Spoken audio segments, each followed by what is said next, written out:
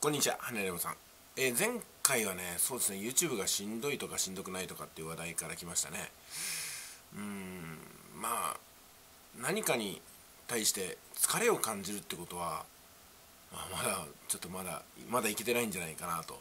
いうふうに思いますね。うん。まあ気持ちはわかるんですけどもね、まああれをやって疲れて、これをやって飽きてってことで、何もものにせずに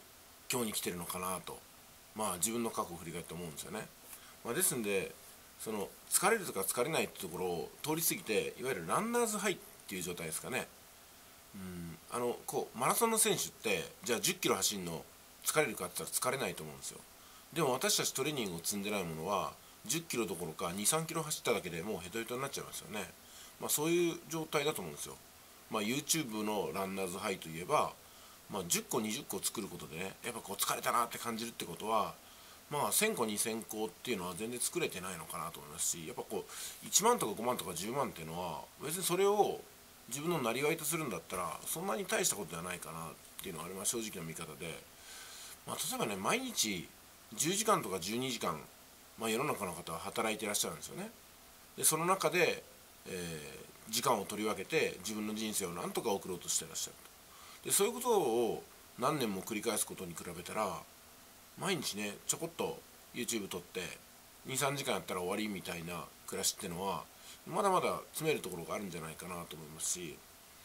あのまあきれ事なきになしにしてね生きるってことは死ぬ時までずっとまあこの資本主義経済の中では金を稼げたかそれとも、うん、金を取られたかだけだと思うんですよね。まあ、もっと言うとね金利を払ってる人と金利をもらってる人の戦いなんですよ。でほとんどの人は金利を払ってるんですよね。で余裕なんてない暮らしなんですよ。でもなぜか私から見るとみんな余裕で生きてるんですよ。これがね恐ろしいというかね自分の足元が本当にぐらついてるのが見えてないのかなと思っちゃうんでこの私ですらね日々お金にこだわりお金のことについて学びそしてお金を生み出すという、ね、もはやこの稼いでない日がないわけなんですよね。そう考えていくとなんかオンオフっていう言い方もありますけどもオフの時って死ぬ時なんですよね。だからそれもまだまだ全然伝わっていないというかねあの受け取れてないかなと。こんなわざわざ言うことではないんですけども生きることって必ず金が関わるんだとかね。生まれた瞬間に金かかってるわけですよね。で死ぬ直前っていうか死んだ後も金かかるんですよ。もっと言ったら生まれる前も金かかってますからね。だから生きてる時にお金がかかるのは当たり前でどこからか自分の自我を持ち始めたらね自分に関わるお金ぐらいは自分で稼いでいかなくちゃいけないしだからこの危機感がないってことはやっぱり誰かにおんぶに抱っこしてるんですよねこれは。うん、だからこれやばいなと思い続けて稼ぎ続けてないってことは多分そのやばいと思う感情を周りの人が支えてくれて恩着せがましくもなくね、まあ、食わしてくれてるんですよね。だいろんなところから守られたりとかしてるのに自分で生きてる気持ちになってるんじゃないかなと思うんですよ。まあ、これねあのお金の問題が全然クリアできてないのに全くあの困った状態になってないというかね、まあ、いわゆるこうまああえて言いますけど無駄なことをやってるんですよね。まずは余裕ができてから無駄なことをするならいいんですけども余裕がないのに無駄なことをしていてその煽りを誰かが食らってることにほとんど気づいてないんですよね。特に周りの人はかなりうんまあ、疲弊してると思うんですよ、まあ、でもうん高い意識でねそんなこと気にせずに支えてくれてるのかなというところがあるんですよね。これはね本当にねさまざまな人間関係を見るとことを思うのとあと相談事のほとんどがお金のことなんですよね。私がこういう発信してるからしょうがないんですけども。まあその中でねまあ、支え合って生きていくっていう言葉はありますけども実際に、まあ、支え合って生きることはかなり難しいんですよね。うん、やっぱだか力が持ってる人が軸になって、まあ、その人の恩恵で、まあ、やれてるところはあると思うんですよ。でもその力のある人の恩恵っていうのはすごく怖くってその力のある人がね自分が搾取されていることに気づいてしまうとどっかに行ってしまう可能性があるんですよ。これどういうことかっていうと搾取っていうのは何もねあの権力者がするわけじゃなくって本当に身近な人間関係とか家族の中で搾取って行われてるところがあるんですよね。だからこれ分断を生むために言ってるわけじゃなくてあ自分は恩恵に預かってるなと分かってなかったかなと思ったらやっぱりこう一つの単位としてねこう本当の意味で支え合っていかないと、うんまあ、必要ない人間ってことにねこう気づかれてしまうってことなんですよね。そこがすごく危ないことだなと思います。でその一人で暮らしてらっしゃる方。で、えー、自分の事業されてる方とあとね家族の中で事業されてる方とこれも全く前提何前提が違ってきてあの、まあ、家族の中でいわゆる屋根の心配もないし、まあ、家賃の一部は払うにしてもねうんまあ、それから生活環境を基本的には他者に依存しているところに、まあ、気づいていなかったりとかね、うん、まあそういう方っていうのはもうちょっとこう社会を見ていかないと、うん。まあ、そのビジネスってねたどり着かないのかなと思うんですよね。だからお金の勉強ってこういうことなんですよ。自分が生きてることってどこからもたらされているのかとか実際この人がいなかったらどのぐらいの自分には既存があるのかとかね。もしくは楽になるのかとかね。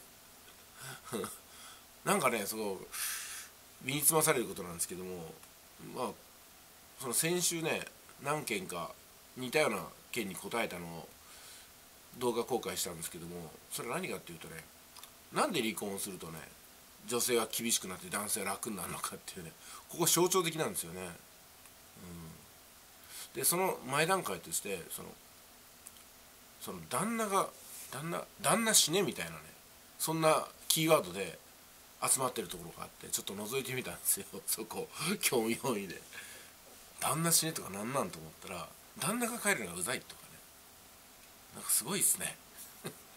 でそれをその結婚した女性の3割が感じてるというね。で反対にだあの男性はあんまり感じてないんですよそういうことあの何？自分が結婚した環境にいる人に対して怒りを感じたことはないらしいんですよ、ただあの結婚したからこれを我慢しないといけないあれを我慢しないといけないっていうに割り切ってねで少ないお小遣いの中で頑張って暮らしてるらしいんですけども なんかその離婚するとねあれなんでこんなに俺は楽なんだって俺結構金持ちだったんじゃないかみたいなことでこう気づくらしいんですけどもまあでも基本的にはねあの、まあ、惚れた弱みっていうかね奥さんのこと本当にあのずっと支えきるっていうか腹がくくれるんですよねきっとね、だからそれがだからビジネスも生きてるっていうか、うん、まあやっぱなな相対的に男性ってのはやっぱこう前提として死ぬまで働くってことがあるんですよねきっとね。でその旦那死ねのこのカテゴリーの中にその女性は大変と。家事があるとかね掃除があるとか、ね、食事の世話をしなくちゃいけないとかいうふうなところで大変だって言うんですけども今の時代大変かなとか 思うわけなんですよね見てると。特に一人暮らしの長かった男性ってこれ全く苦もなくこなしますしそれの上で仕事に行ったりね飲みに行ったりねしてますからね、うん、だからこれ今回何が言いたいかっていうとねあの何を自分の力としてやっているかとかね何を誰のおかげとしているかってところをもうこういろいろと書き間違えるとそれこそお金を稼ぐことって誰かのおかげの部分が多いわけですよね。自分一人で稼いでるような気がしていてもこれどういうことかっていうとその自分一人で稼いでいるっていう意識の人って取引先がいるから稼げてるとかそのシステムを運用してくれてるサーバーがあるから稼げてるとか YouTube なら YouTube って仕組みが無料で使えてるから稼げてるとかってことに気づきにくくって俺一人で稼いでるぜとかね一人でやってるぜみたいな意識になっちゃうってことなんですよ。うん、世の中には無料のサービスいっぱいありますけども無料のサービスは誰かが無料で働いてくれてるってことなんですよね、